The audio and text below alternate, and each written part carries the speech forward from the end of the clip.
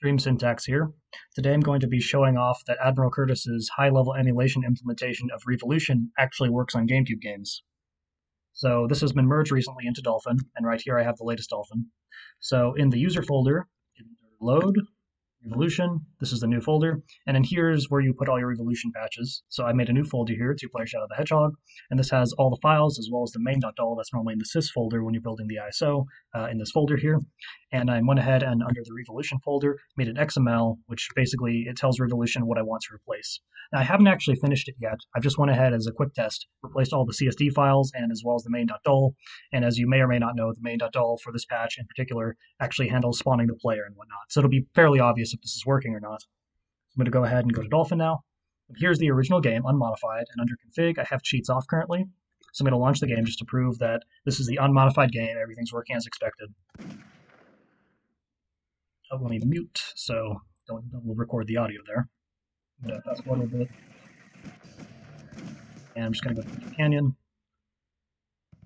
Okay, and here you can see uh, there is no player 2. The UI is kind of stretched just because I don't have the GNCP patches on and I have it set to 16 by 9. Uh, so yeah, this is the original game. I think it's fairly obvious.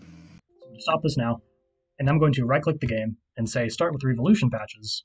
And this is a good sign, so this picked up this is the correct game based on the game ID here. It says Super Shadow the Hedgehog enabled, so I'm going to say start.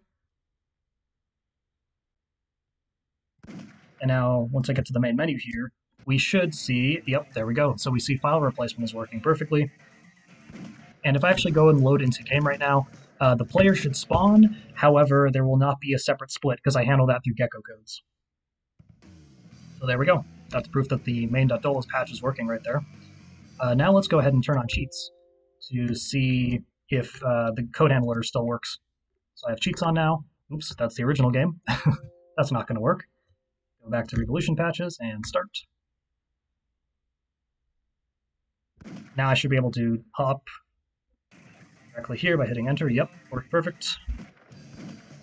To tell the 16 by 9 widescreen patch is working correctly now.